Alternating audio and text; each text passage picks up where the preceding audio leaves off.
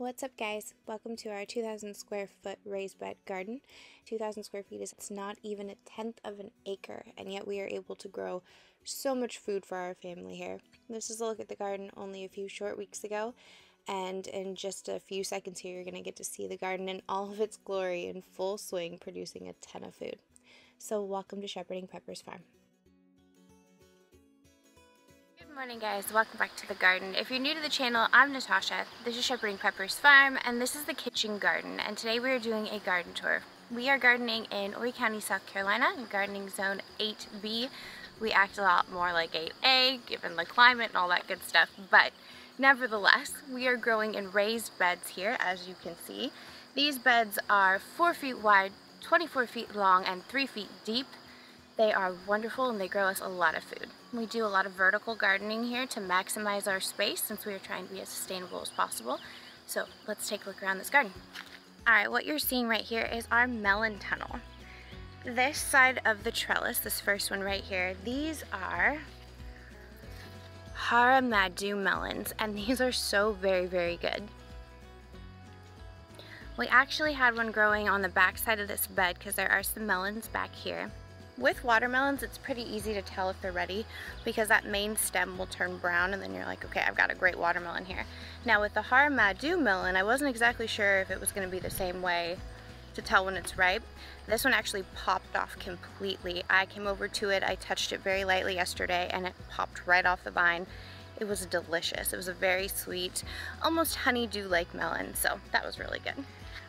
Now over here on this opposite side, these are supposed to be tiger melons, but the melons got all mixed up label-wise, so I'm not exactly sure if that's what that is. These right here are our vine peaches. See them right there. I saw one earlier that was starting to get a little bit of coloring on it. There we go.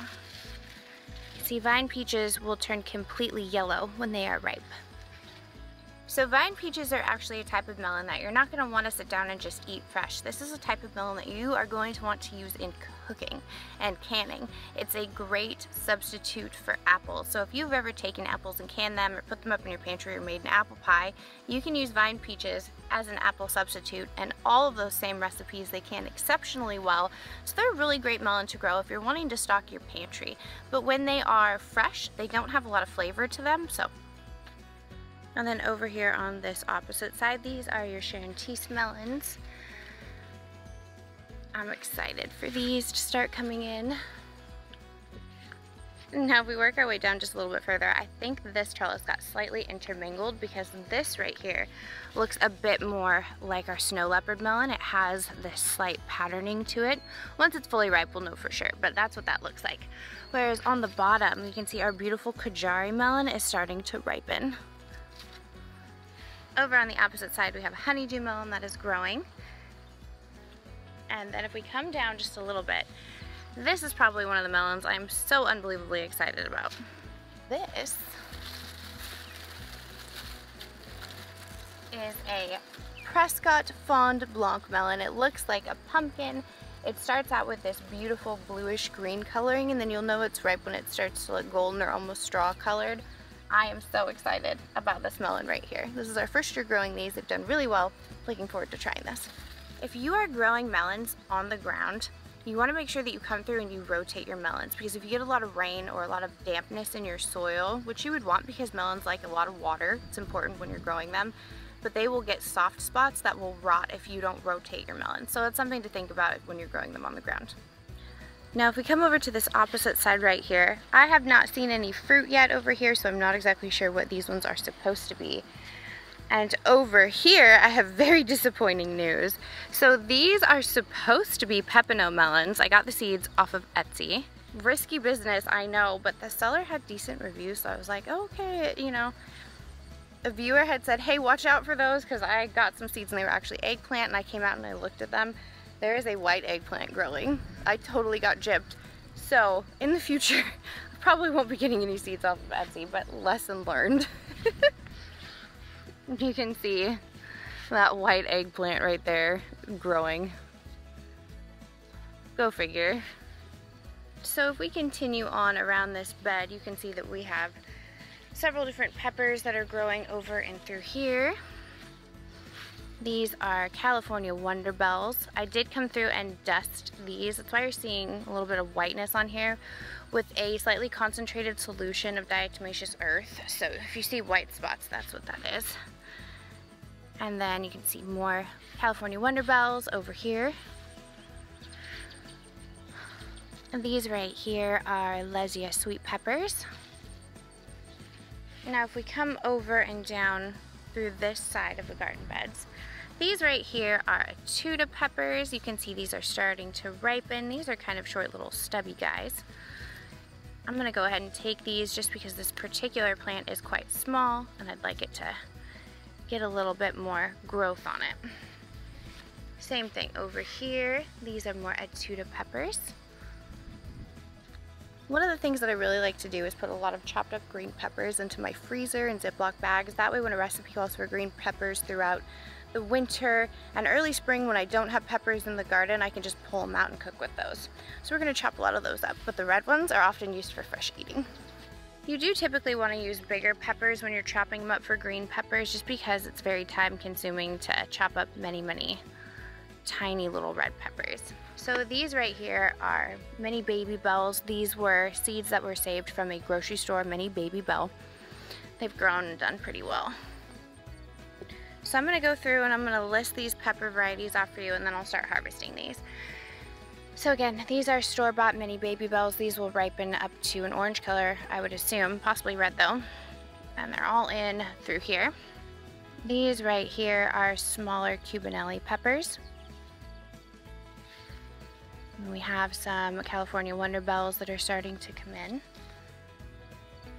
Okay, so do you see this right here? I touched on this briefly about two weeks ago, but if you see a spot like this on your peppers, this is sunburn, essentially. It's called sun scald. When your peppers get too much sunlight, they can develop sunburn spots on them, and then those pieces will rot. If your weather isn't too wet or humid, typically it'll scab over. You just don't want to eat that part, but the rest of the pepper is good. If you have a lot of humidity and a lot of rain and you start to see that, you might want to pull the pepper, take it inside and eat it because it could continue to spread. More Cubanelli peppers in the back, and then we have some chocolate bell peppers that are ripening back there. And then the majority of these in this little section is more California Wonder Bell peppers, followed by Lesia sweet peppers over and through here. See, this one's kind of close to getting a sunburn. It's got a very weak spot right here, and it's starting to yellow. Now behind the peppers are our tomatoes, our experiment tomatoes. They've actually been looking pretty good. Again, pleasantly surprised because the majority of horticultural information will say that these succumb to blight pretty much immediately upon regrowth. So again, just continuing to collect the data and analyze it, see how these do. We are getting new blooms. There's a tiny bit of spotting on the leaves, but it's pretty minimal, so. This next section right here, this arch trellis has Blauhild beans on it. This is a type of pole bean that can be eaten fresh as a snap bean or you can let the beans dry go to seed and save the seeds and put them up in your pantry for the year. This is one of our favorites. I did come through and snip these off at the bottom because I'm about done with these on here. I want these to dry a little bit quicker and then I'd like to use this trellis for something else. So, oh, and then we have California zinnias underneath this trellis here and here and here. These are Scabiosa zinnias. They have this neat little hoof on the top. These have been pretty fun. All throughout here, you can see we have additional basil. It's the same stuff, dark purple opal basil. Oh look, little tomatoes. How exciting. And then this is Genovese basil, and down here we have some spicy basil. This is just a bit more pungent in flavor. This is all done super well. Now over here, oh my goodness, it's like Christmas. Look at all the red peppers. So these peppers have been amazingly productive. They are super sweet. They're a really good size. So these have been peppers that we have been eating on fresh and not really cooking with them because they just get devoured by myself and the kids. We love red peppers, especially sweet red peppers. So I am letting all of these ripen as much as I can in this section so we can enjoy these red peppers.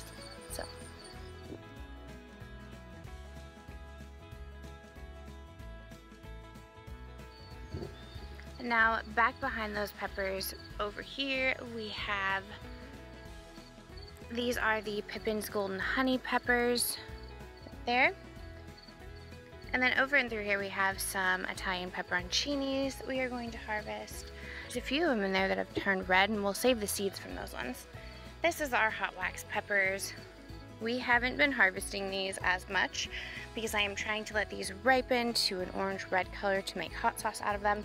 But what I will say is even though I haven't been harvesting them on harvesting days, frequently Layla or I, or even Seth will come out here and take peppers off of this plant and just bring them inside so we can eat them with our meals. They're really good. I've been very impressed with those this year. And then in through here we just have some more California Wonder Bell peppers. You can see we're getting some good fruit on those. I'll probably let these go just a little bit longer and then I'll pull these mm, midweek or at the next garden tour because I'd like those to get a little bit bigger.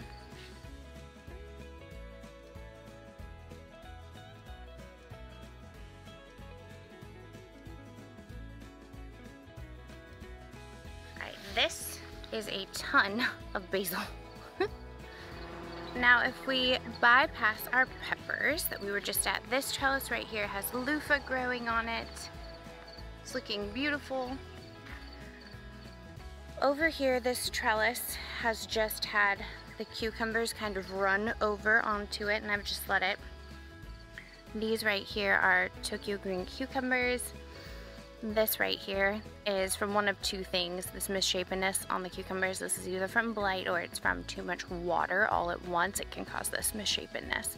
I will probably take this and throw this over to the chickens just to make their day.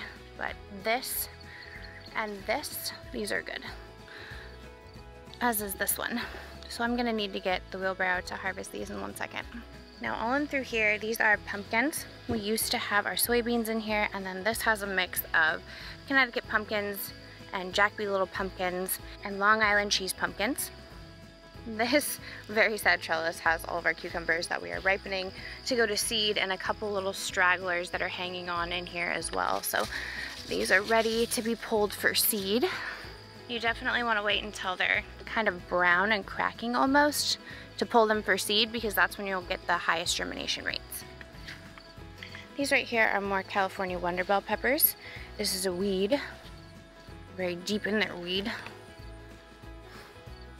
This right here is actually radicchio that survived this whole summer because I forgot about it and neglected it, which is fine.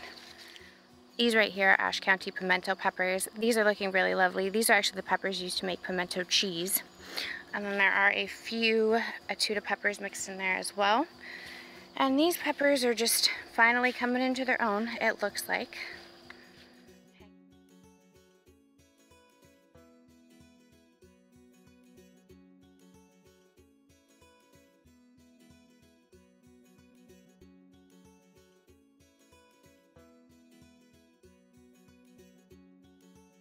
All right, up and through this next bed, we have lots of Roma tomatoes.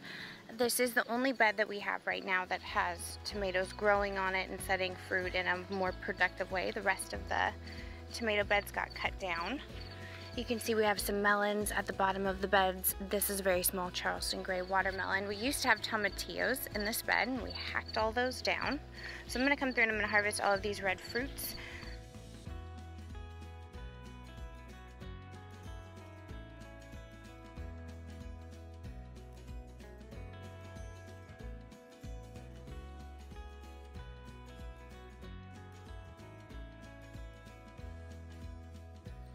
Over here in this next bed, we have more cucumbers on this trellis and through here. These are Bates Alpha cucumbers and Tokyo Green cucumbers. Bates Alpha, Tokyo Green. And then these right here are some sunflowers that I planted in the garden recently just to give it some more life. All in through here, these are dragon tongue bush beans. One looks pretty decent for the amount of bug damage that we have all over these. I actually put the netting up. You can see it back there. We're gonna do a whole slew of bush beans under that netting right there because the bugs have been so bad that we haven't been able to put up nearly as much canning wise for our green beans as we typically do and I need to make sure that I get that done. So I'm going to be planting that full of green beans probably this week. Oh, I'm not a sunflower. They might be on my dress, but I promise you I'm not one. All in through here, these beautiful melons, these are orange glow watermelons that you're seeing. They get to be a really good size. Ooh, that sounds nice. So although this sounds good and has a solid thump to it, the stem isn't brown or turning brown. And I, what I will say is the curlicue, the tendril as you call it, is completely brown and dried up. But I don't like to harvest my melons until that stem has started to at least turn brown. That's really important when you're harvesting melons, especially watermelon varieties. If the stem is brown, it's gonna be a very sweet, thoroughly ripe watermelon. So as much as this sounds good, I'm not gonna harvest it just yet. Now right after the melons, this trellis right here on this side has pole beans planted on it, Blue Lake pole beans. They haven't been doing super well. So I came through and I planted some squash on this side and on this side. And we'll see how that does.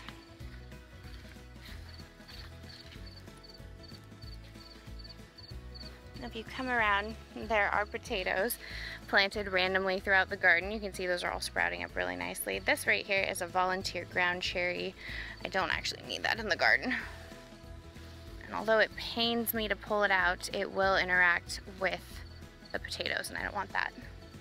And then as you can see right here on this next trellis over, this also has Blue Lake pole beans on it. There's really not a lot of fruit going on over here. The watermelons have started to intermingle a little bit and that's okay.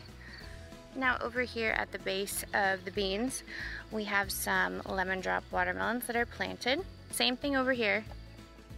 I'm gonna wait until the stem turns brown and then I'll harvest that, but I'm really excited about those.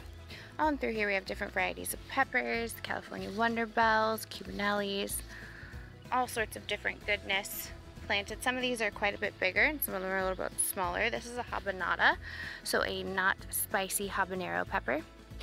Over and through here we have more cucumbers, Bates Alpha's Tokyo Greens. I'm gonna go ahead and harvest these. This massive beauty right here.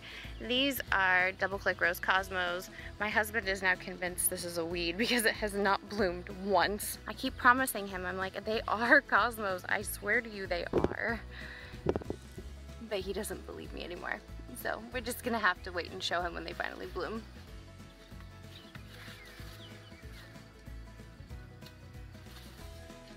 So if we come around past my knotweed cosmos, you can see there's two. You can see they're very strategically planted right there.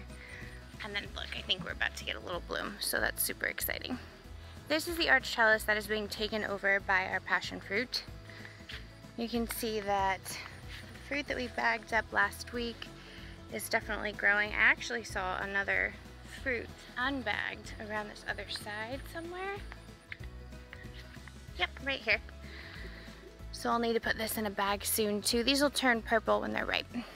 And then this side of the trellis has a few remaining Poona Kheera cucumbers on it. A little bit of stragglers. I guess a big, big straggler down there. My goodness. It's a pretty big Poona Kheera cucumber. But besides that, I'm not seeing a ton of fruit on this trellis yet. I will say I do have to check in between here because often there is cucumbers hidden. Like that. And if we work our way down, this bed has soybeans planted in it along with a few different small varieties of squash. Our beautiful Lisianthus roses. I love these so very much. And then this side has pink Lisianthus roses in it.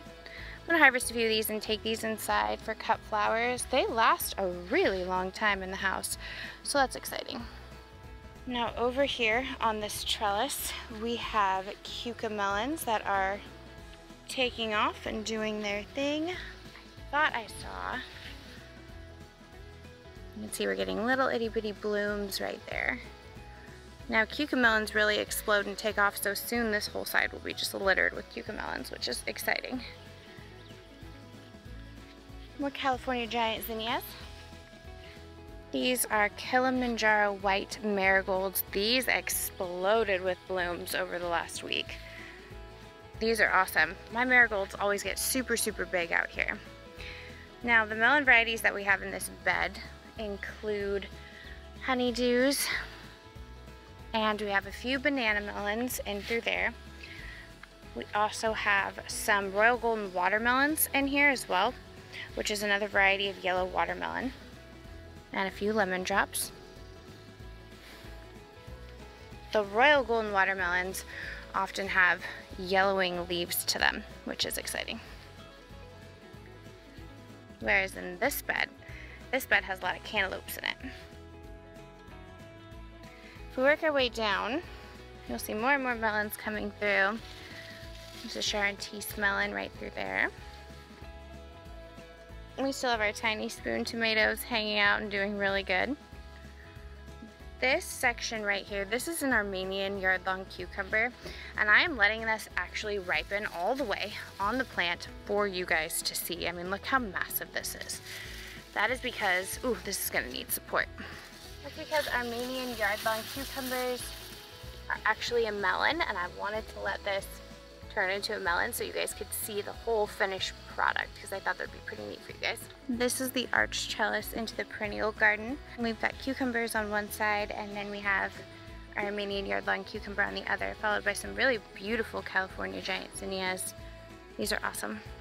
Now in through here there are a few different varieties of cantaloupe than the one that I showed you on the other side. This right here is a honey rock cantaloupe.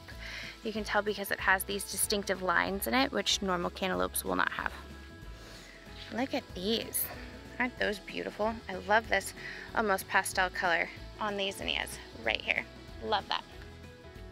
Over here you can see how absolutely massive the Schwarzenbeerenberry has gotten. I'm gonna need to come through and check these and see if they're any ready to harvest.